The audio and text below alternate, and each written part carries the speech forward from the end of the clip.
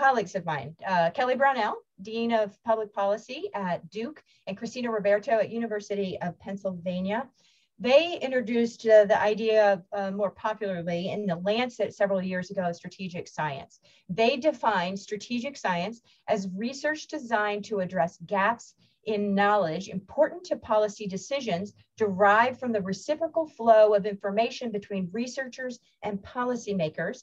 And I would just make one uh, uh, correction to that or amendment to include in that community advocates and experts by experience. And they go on to say that strategic science is communicated not only in scholarly publications, but also in forms relevant to policymakers. And again, a minor amendment to include community advocates and experts by experience. Just critical, absolutely critical to be involved in this work of strategic science. And you're going to see some examples of that in a little bit. So what I'd like to do now, just hold that thought about strategic science. I'm going to walk you through our our economic study, the most comprehensive economic study of eating disorders in the United States, and then we'll come back to strategic science. So for this work, we collaborated with Deloitte Access Economics and with the Academy for Eating Disorders, uh, which is a global uh, professional society for eating disorders. Key takeaways from this report, eating disorders are common, they are deadly, and they are expensive. Nearly 30 million Americans alive today, or close to 9% of the US population, will have an eating disorder at some point during their lives, either in the past, present, future, some point in their lives. Nearly 2 million children alive today will have an eating disorder before they are 20 years old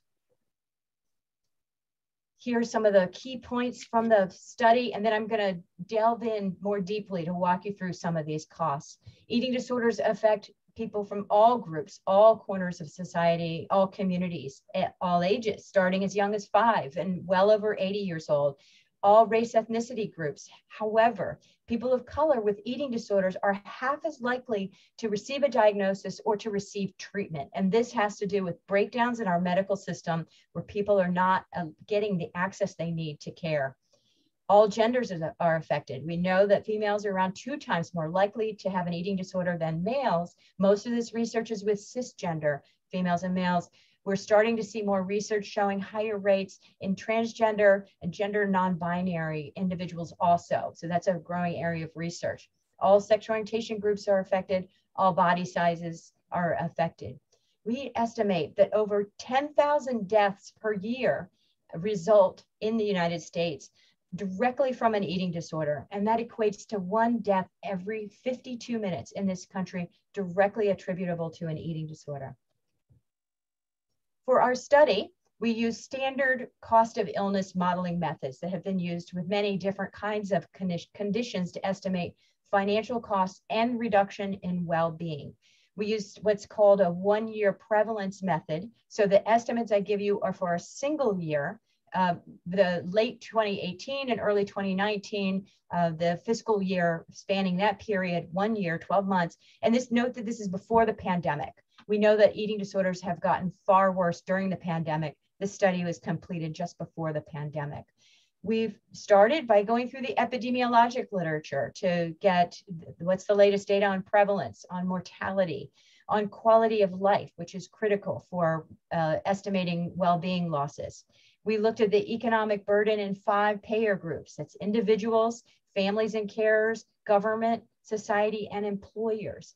And then we went through the, the steps of cost of illness modeling to uh, estimate costs for health health systems, that's hospitalization, emergency department, primary care, outpatient, residential treatment, anything that's part of the health system.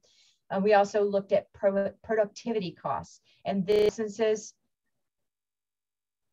Okay, we got that recording down no problem. We got for productivity costs, we're looking at absences from work, reduced workforce participation, reduced productivity at work, premature mortality, and then caregiving, caregiving.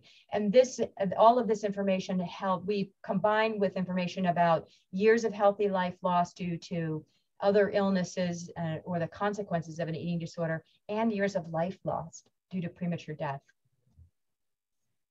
Some of the key findings around costs here on the slide, and I'll walk through these in more detail momentarily. We are estimating that close to $65 billion per year are lost in the US economy directly attributable to eating disorders. And this 65 billion each year can be broken down into several main categories. Productivity losses, again, this has to do with work, and workplaces, uh, close to 49 billion billion dollars lost because of the impact of eating disorders and the lack of care that we need for eating disorders. Informal care refers to family members, loved ones needing to care for someone with an eating disorder. Health system costs at four and a half billion dollars we're seeing because of eating disorders. Now, well-being is a concept that through these kinds of cost of illness analyses, uh, the concept of well-being tries to get more at the quality of life and how that's impacted by an illness. And the economists have come up with ways to monetize that. If you're not an economist or used to these methods, it can sound rather crass, but it is a commonly used metric quantifying in a, in a monetary way the impact on quality of life. And the estimate there for eating disorders is well over $300 billion per year. I'm going to walk through a couple of other costs here, and then we'll go into a little more depth. Cost to hospital systems. We're estimating close to 40, 54,000 emergency room visits or close to $30 million in cost for that, for emergency room visits, close to 24,000 inpatient hospitalizations, and that's totaling well over $200 million. Now, if you look to the right side, lower right side, you'll see losses per group estimated. Uh, over $23 billion as the tab picked up by individuals and families each year because of an eating disorder. Government and employers are not far behind with close to 18 billion, employers at over 16 billion, and then other costs to society over 7 billion. These are big figures here, and I'll do some comparisons a little bit later. So the next set of slides, I'm going to offer a little more detail about these costs, and then we'll be stepping back to think about how does this report fit into the big picture. With uh, eating disorders in a single year, the prevalence estimate is uh, five and a half million Americans with an active eating disorder in the year that we're doing the analysis. So that's a lot of people in actively with an eating disorder. We'll notice here the, with the red circle, you'll see the breakdown of different eating disorders. Most people have are familiar with anorexia nervosa, bulimia, bulimia nervosa. Uh, those are the ones most talked about in the media, but they are not the majority of cases the vast majority of eating disorders are either binge eating disorder or a catch-all category called other spe specified feeding and eating disorder. Terrible name, uh, and it is not any less serious. It's that people have a combination of symptoms, and that's how they end up in that. You can see the light blue part of the pie and the dark blue pie take up almost the whole uh, amount here because they're so much more common. Another thing I want to point out here you see the age across the x-axis there with a big spike over uh, the um, teens, 20s, 30s, up until the 40s. Nearly half of people with eating disorders are under 30, and that is an active eating disorder under 30. 83% are of working age. So this is going to come back. We're going to see this again when I talk about productivity costs. Now, the financial costs of eating disorders are large and substantial reduction in well-being. The annual financial cost of eating disorders, as I mentioned, uh, nearly $65 billion per year. This equated to nearly $12,000 per person, individual with an eating disorder. Want to call your attention to the lower left part of the screen. Financial costs for types of eating disorders as I mentioned, people tend to have heard of anorexia nervosa, bulimia nervosa. They, they do take up a, a, about a third of the cost, but it's actually these much more common disorders, binge eating disorder and other specified feeding or eating disorder that is the combination of symptoms that's not any one other disorder. These make up the vast majority of costs. That's something that few policymakers are aware of, and that's 30 over a third is in that so-called catch-all category. Health system costs. The majority are coming from primary care and outpatient care, where we have health systems cost is just one piece of the impact of this condition on the economy with four and a half billion dollars or over 800 per person with an eating disorder. And here the light blue takes up the most uh, largest part of the pie Uh, that's for primary care and outpatient because people need to be interfacing with the medical or mental health system to get the care they need for recovery. And that's making up the largest portion there. Productivity costs. Now, a reminder, this has to do with workplace, people being able to work or not being able to work, either because of their own eating disorder or caring for a family member. The estimate on the productivity costs is clear, nearly $49 billion out of the total of $65 billion, and that's in a single year, cost to the economy, are close to $9,000 per person in productivity losses. Now, with this, anorexia nervosa and bulimia nervosa are very serious conditions. And when people are actively experiencing these conditions, the estimate is they miss, may be missing work for an additional over 27 days per year compared to someone who does not have these conditions. For the other eating disorders, not quite as debilitating, or people may miss an additional four days of work. Now, down at the bottom right of the screen, you'll see productivity costs of eating disorders. Those are fairly evenly spread out across individuals, employers, and government, each picking up around a third, give or take. Other financial costs, I mentioned informal care. That's, a, that's the way economists refer to the care that family members or loved ones provide for a, a, loved one who is struggling with an eating disorder. And it's a vital backup to where our health system often has dropped the ball and not offering the care that people need. We're estimating that in what's called informal care uh, is coming out to about six and a half billion dollars per year for eating disorders.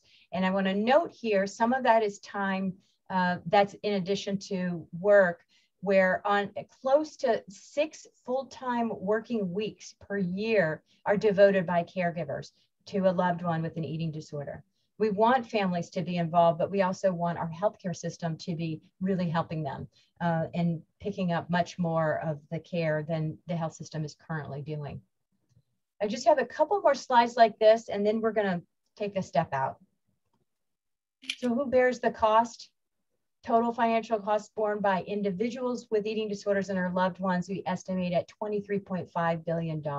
So this is out-of-pocket payments. This is over $23 billion out of people's pockets because the healthcare system has let them down and is not covering the full care that they need.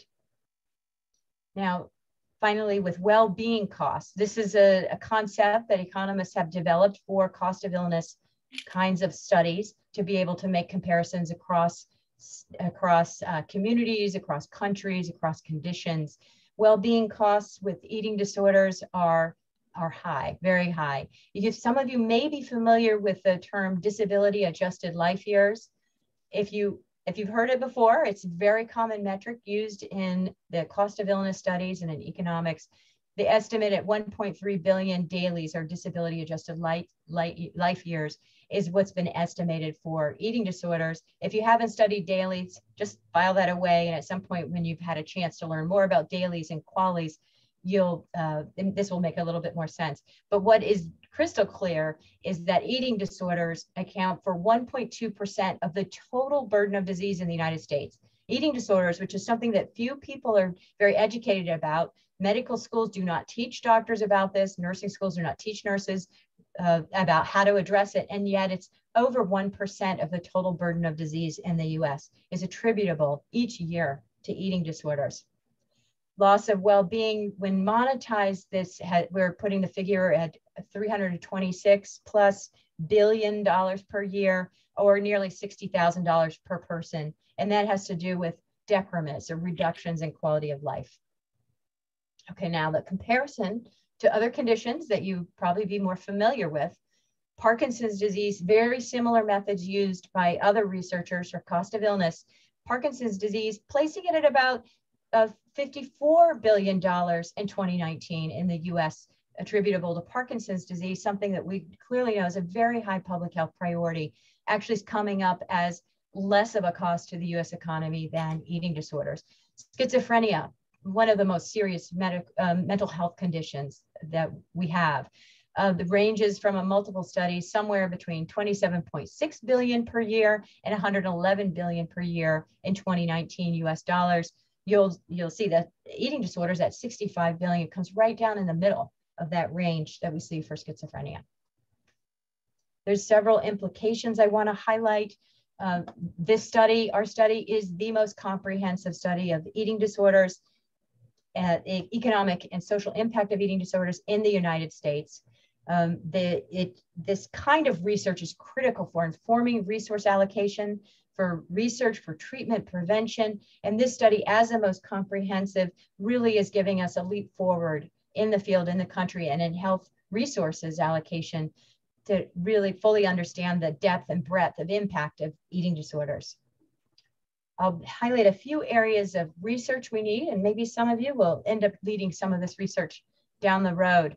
We need more research looking at cost effectiveness of treatment and prevention options to reduce the cost of eating disorders in US society. Further research is needed to understand the additional costs and it, with eating disorders that can be attributable to structural racism and other structural oppressions that keep people from getting the care they need or may even be increasing their risk of developing an eating disorder in the first place. We need more research on cost effectiveness of different models of care, step care, integrated care models. There's a variety of models. Some are more efficient and more effective than others. We need more research on long-term impacts of eating disorders. Our study, as I mentioned right at the front, is focused on a single year. That's costs and social burden in a single year, but of course, over the lifetime, the consequences of an eating disorder can add up for a person. We need a lot more work on that. And one more area I want to highlight is a need to undertake uh, research to estimate the costs that could be saved by preventing eating disorders through early intervention and uh, early screening and identity identifying uh, eating disorders before someone has had the condition for quite a long time.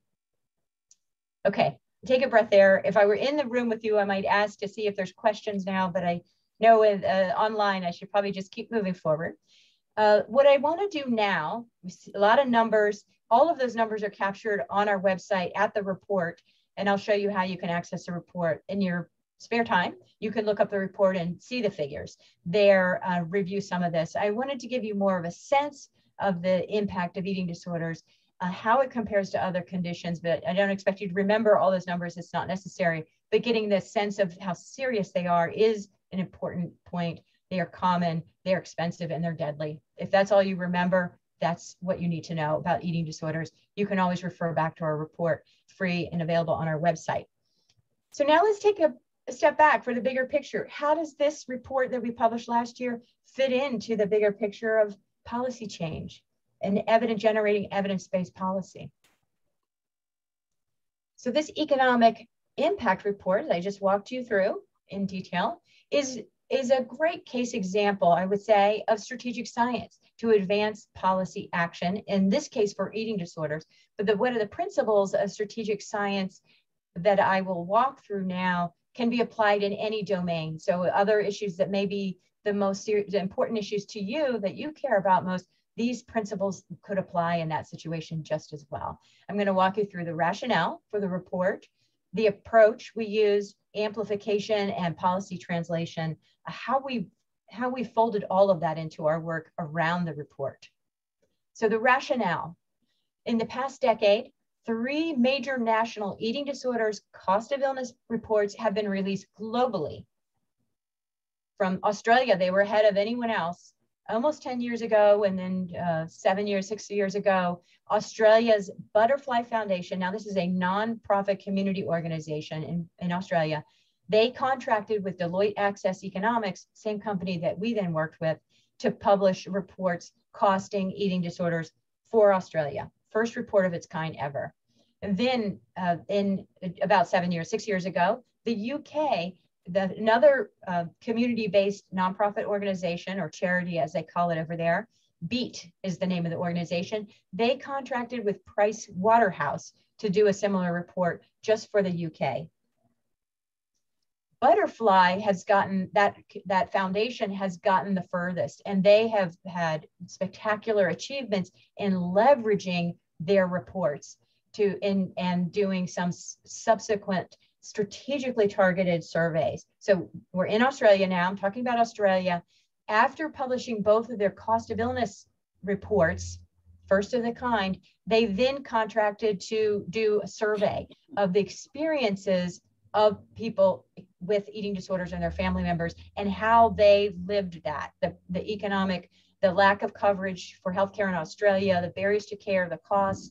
How was that experienced personally by people with eating disorders? They did a, a very compelling report um, through a survey to describe that. And with that, and with very smartly targeted policy advocacy, they got over $10 million in funding toward treatment. In Australia, $10 million, $110 million goes much further than in the US. This was a major transformative change in health policy in Australia to uh, vastly increase access to care for Australians with eating disorders. We saw that in the news several years ago, 2018, and we thought we got to follow their lead here in the US. They figured it out. We got to figure it out. It's never been done in the US, but we need to know the same kind of answers that they got in Australia. So, what we did, uh, and I'm talking when I say we, I mean a partnership between my organization, Striped, and the Academy for Eating Disorders, which is the leading global professional society for eating disorders researchers and uh, clinicians. So we contacted the same Deloitte Access Economics team who had worked with the Australian group and said, well, can you work with the US?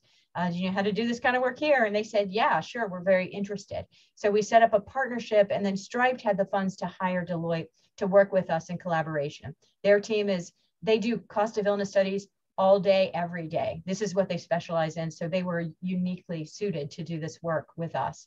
And the what one of the things we were trying to to achieve, I'm going to flag this for you, is a cross-sector collaboration. This was not something coming just out of the ivory tower. We had Deloitte Access Economics, technical es, uh, experts who were from the business sector, Striped, Academic Research Center based at Harvard School of Public Health. And then the Academy for Eating Disorders brought in the clinical perspective. It's the Global Professional Society for Eating Disorders Clinicians. Now, with this cross-sector collaboration, we felt like we would be really well positioned to then eventually get our message out when we were done. Um, and I'll come to that shortly. We put together an advisory panel of experts. Again, we wanted to have this advisory panel be cross-sector. As much as I love the Ivory Tower, I'm working at Harvard, I've been uh, doing research here for a couple of decades. There's so much good work here, but our research cannot translate itself. We have to be working across sectors. And that's where with this team, we put together uh, technical expert, experts and experts uh, with community experience. So our panel experts included academics like myself, community members, people from the business world, and people working closely with government.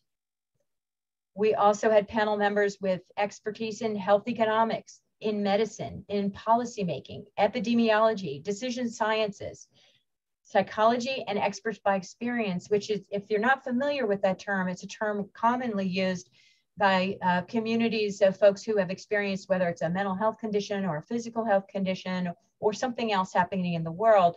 They have a unique expertise of having lived what happens when something, this condition, when someone experiences this condition, or it could be about climate change or something else, but experts by experience have a unique voice. So that what I'm talking about now with the big picture is we got these findings, we had the report, we could publish them in an academic journal, but we didn't want to stop there. We wanted this work to be translated and communicated in a way that policymakers would be able to work with it and that it would get a large audience. So we've really focused on amplification. This is after all the technical work was done. We wanted to amplify the findings. And here's another important point when you're working across sectors or across organizations, we wanted to have a unified voice. Because if you have a dozen different organizations, they might all have a different message and then nothing really gets through. We wanted to coordinate a unified voice. So with the report release, we, we planned a press conference and we timed it the report release with the International Conference on Eating Disorders. That was last June. This is the biggest conference in the field of eating disorders globally. We wanted the release to be there so everyone there would be aware of the report having been released. And we had a community member, community leader, and expert by experience moderate this. So normally an academic release of results uh, of a study, everybody on the panel would be an academic. and everything would be communicated in a way that only academics who specialize in that field would understand. We didn't want to do that because it was all about figuring out what, how do we translate this? We had an expert by experience, Johanna Kandel, moderate that session, help for our appeal outside of the ivory tower. We did Facebook Live interviews with a few different organizations, and the goal is to communicate with community advocates, who I'll get to this in a moment, critical for policy advocacy work, critical for being effective with policymakers, is to have community members, that's expert by experience and constituents have to be involved. So we wanted to communicate with them in a way that it would resonate with their lived experience and that they could make sure they can understand the key findings without having to be economists themselves.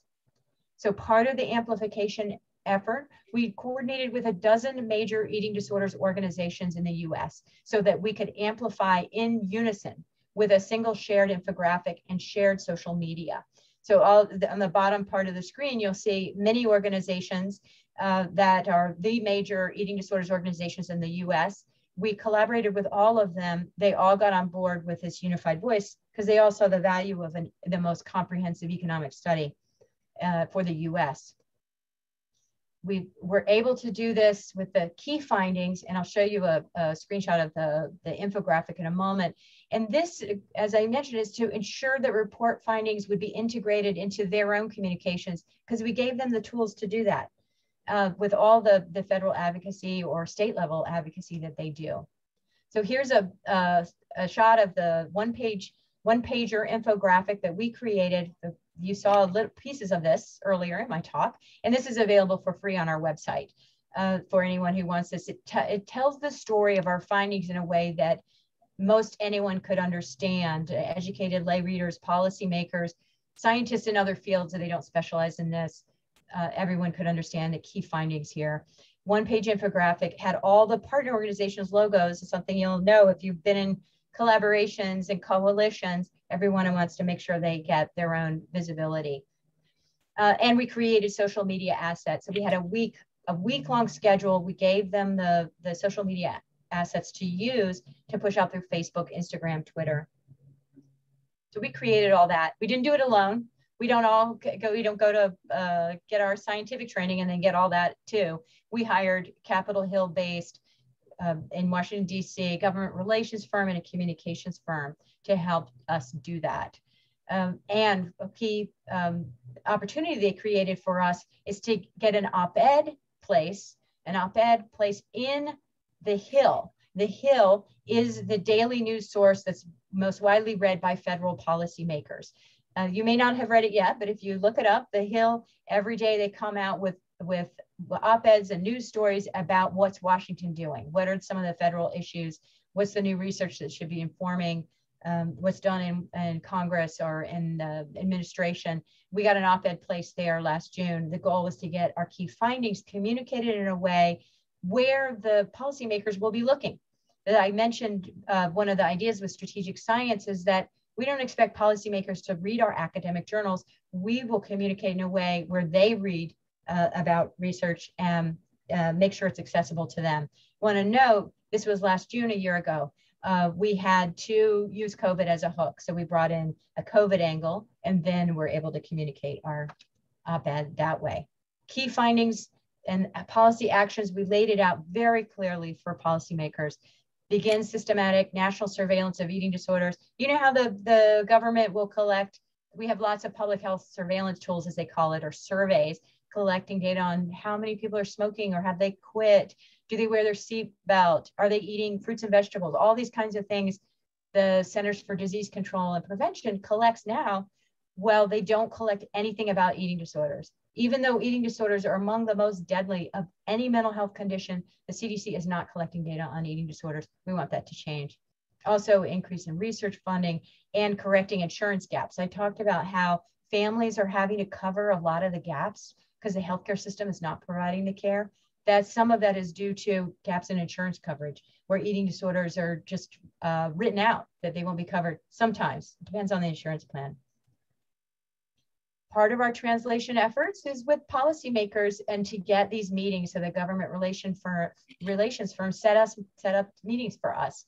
We worked with a, a firm called Center Road Solutions. We got meetings with National Institute of Mental Health, the US Food and Drug Administration, the Department of Education, and more, CDC. Lots of meetings they set up so we could go um, in smaller group settings, answer their questions, share the results, talk about what they could do. This is all part of the proactive policy translation, research to policy translation process. We discuss our key findings, options for policy actions in these meetings, and we need the we need the members of government that work at CDC or elsewhere to be part of these meetings because they know better than we do on what of their programs could be changed, added, dropped, revised. They know better, but they need the original information and the motivation to do that.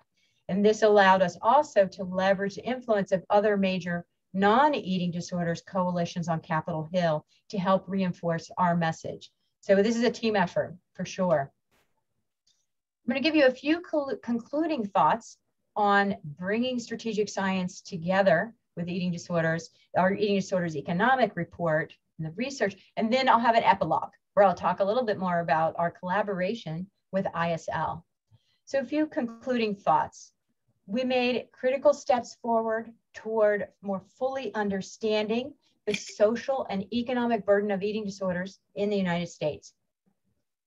In addition, these new data are allowing us now to estimate cost effectiveness, improve quality of life, and most importantly, lives to be saved through scaling up effective prevention and early detection and treatment. We were able to pull all of these key messages out through our comprehensive economic report. Now, from a strategic science yeah. perspective, our top priority for undertaking the, the, this impact report was to engage decision makers in US government, in the healthcare sector, and other sectors to motivate them to take action. So they they had long said, oh, we don't have the data, we don't know anything about the cost. We gave them that, but we didn't just give them the cost, the economic results. We also built a whole um, uh, strategy around the amplification, communication, working with community members, and getting their stories out there. US policymakers have the evidentiary base now. That's part of what strategic science does. Compelling evidence, $65 billion lost annually to the economy due to eating disorders. That's one life lost every 52 minutes.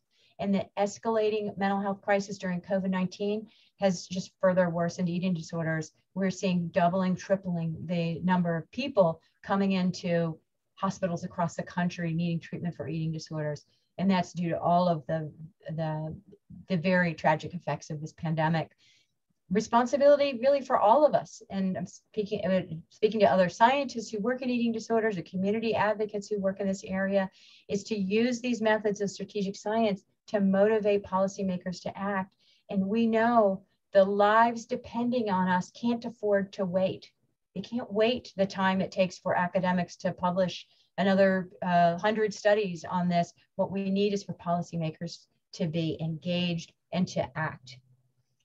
So with that, I want to move to the epilogue about how do we try to get policymakers to act? They're busy. There's a lot of there's a lot of issues coming at them. Eating disorders is one, but there's many others. And we know that as state legislatures, they may have a thousand or thousands of bills that are introduced in big states every year. That's a lot of competition for their attention. But we also know that it's only when researchers, community members can organize, work together across uh, stakeholder groups, across sectors to get an audience with policymakers. That's how we move them. So I'm going to talk a little bit about our collaboration or policy translation in action right now. This is from the field right now, the collaboration between Striped, my program, and the International Socioeconomics Laboratory, or ISL.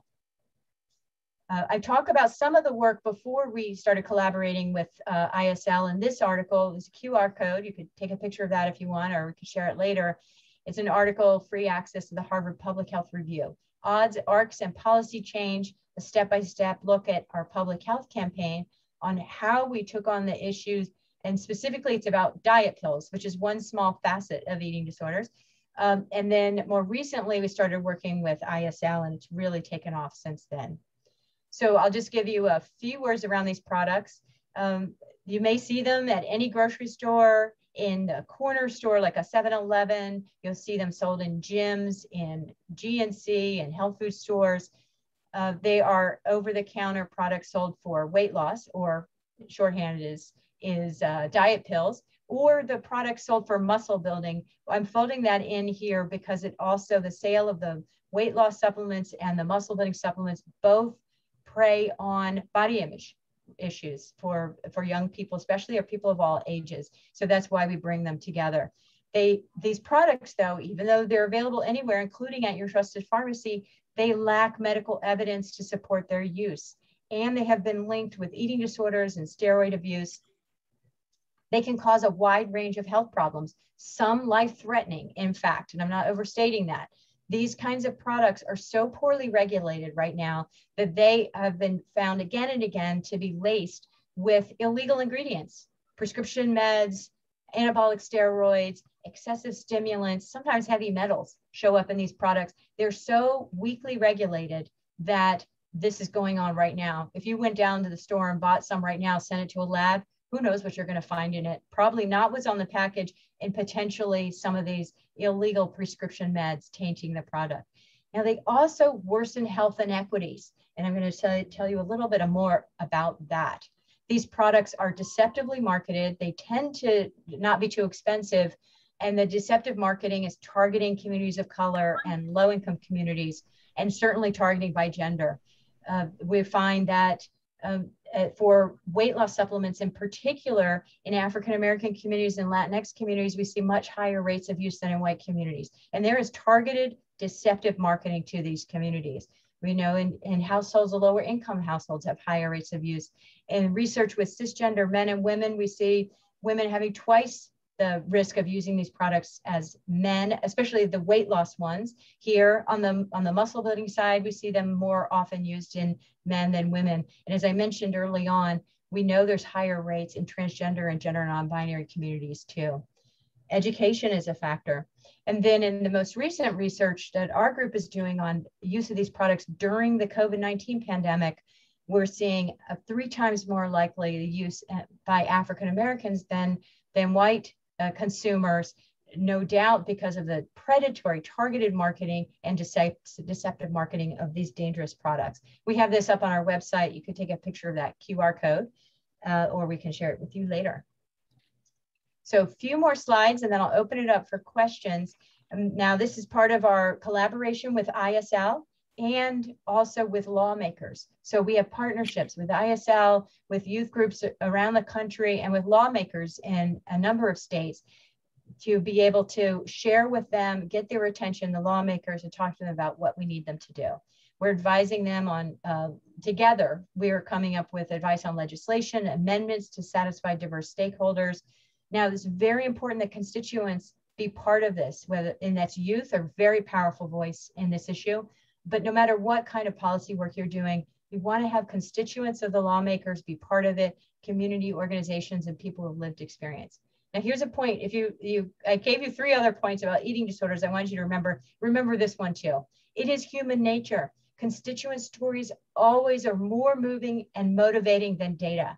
Now that doesn't mean data is not important, but it does mean to get movement by policymakers, we've got to have the stories that, that lived experience communicated.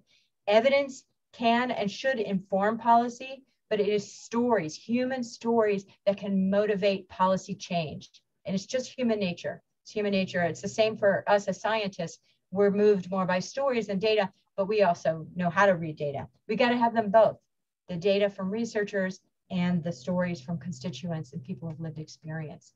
So we've been, to make it really concrete, we've been working with lawmakers in Massachusetts, also New York, as Ryan mentioned, in California, and we're looking in other places to get a bill introduced to ban the sale of those products I mentioned, the over-the-counter diet pills and muscle building supplements, ban the sale to minors. The products are so dangerous, they're not medically recommended. It's a common sense place to start. So we've been working with Representative Kay in Massachusetts and, and Senator Mike Rush in Massachusetts to move this legislation forward. It's still legislation, not law yet, uh, but there, there's a lot of movement happening now, and there's a way for you to get involved. And ISL has uh, created just an incredible opportunities for young people, whether it's Massachusetts, you're in New York, California, New Jersey now, or other states, you can get involved in this policy translation and action through ISL. I have two slides here, both have QR codes. You could take a picture uh, to get the URL or the QR code. This one is to a youth survey to tell us what you think about having these products preying on young people. If you're interested, take a picture, you can check out the youth survey led by ISL and a youth support letter. If this is an issue you care about and you want to sign on, you can see the youth support letter. You can take a picture of the QR here. Uh, and, and that the letter is for those who care about this issue and want to get, um, want to have your voice heard by lawmakers. It's a youth sign on letter for youth anywhere in the country. So I just covered a lot. I'm going to stop there and see if we might have some questions for the next few minutes until the hour is up. Thank you for listening. And thank you also to the folks who interrupted me early on to make sure I had my screen set up properly. I really appreciate that you did that so you could have the full benefit of my slides. So with that, I will um, stop sharing my screen. This last URL and QR code is to get to our economic report if you wanted to go back and see um, more of the detail about the data. So I'll stop sharing. Great. Thank you so much. So we're going Wonderful. to be taking questions now. So uh, um, John, if you want to take it away. Uh, could you go more in detail about how you calculated um, efficiency loss with regards to um, presentation? Um, actually, that's a great question. And what I'd like to do is refer you to the report because we have a whole section on efficiency losses in there that describes the method, uh, the sources for the method that we chose to do, and then how that was calculated. It's definitely in the report. Oh, thank you. All right, we'll take a question from Vanchita. Uh, hi, uh, so thank you for that. That was um, a really great presentation.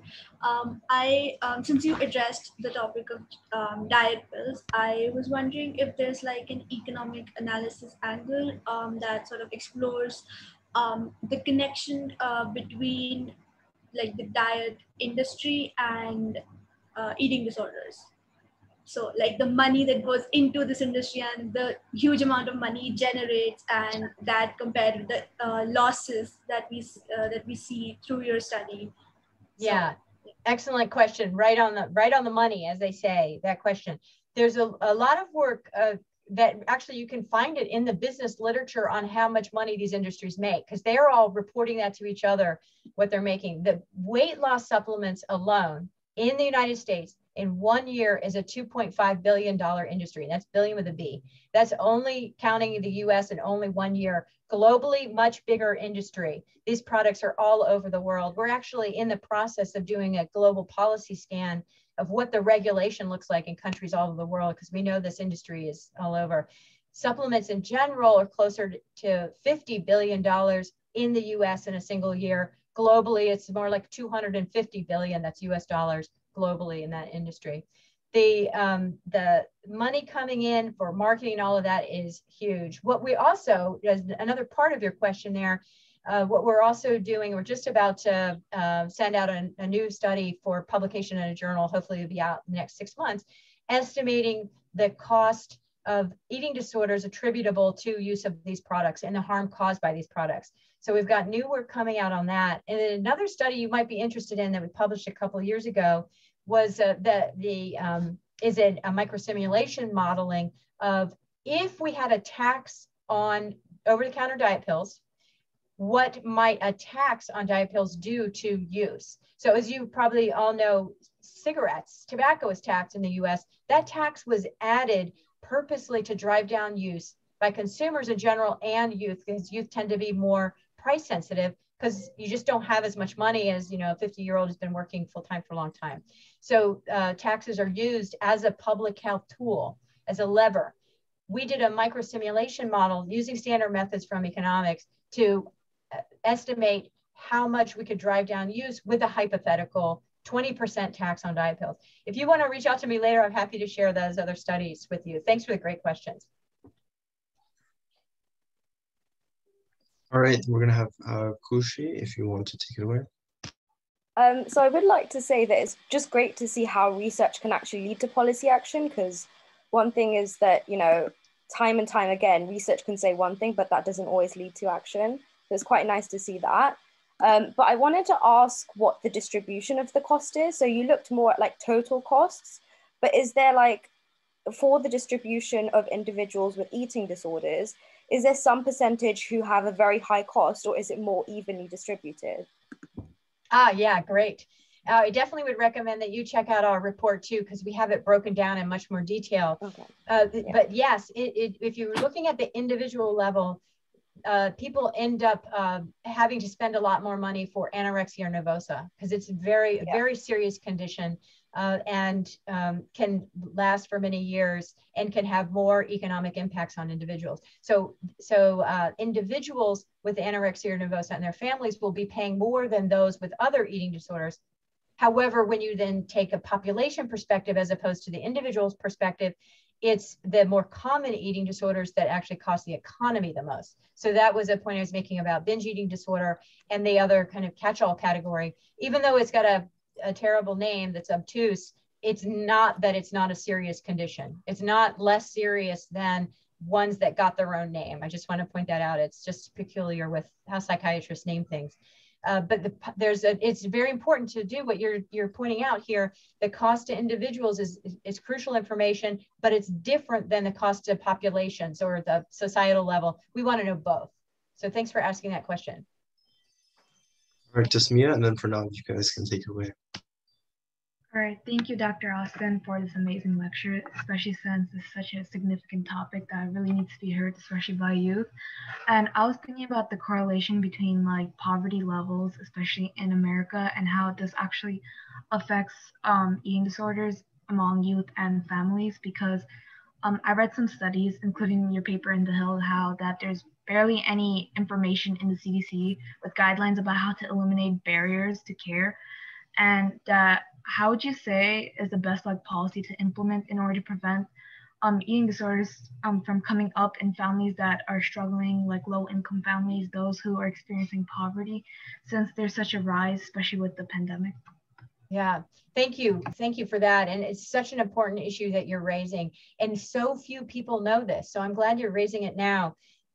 The, the, during the pandemic, I'll take a step back to talk a little bit about this, uh, how this arose during the pandemic as you may have read in headlines, or maybe you're closer to it and, and have seen this happen, uh, that food insecurity, as they call it, or nutrition insecurity, was was a big issue, especially at the beginning of the pandemic. It already was an issue, and there's there's uh, just terrible uh, disparities or inequities across communities where we see before the pandemic we had a lot more uh, food insecurity affecting Black and Brown communities, immigrant communities already, because even though this, the US is a wealthy nation, the food systems are not set up to make sure food is equitably accessible. Well, food insecurity causes enormous stress on families and on individuals, psychological stress, financial stress, physical stress.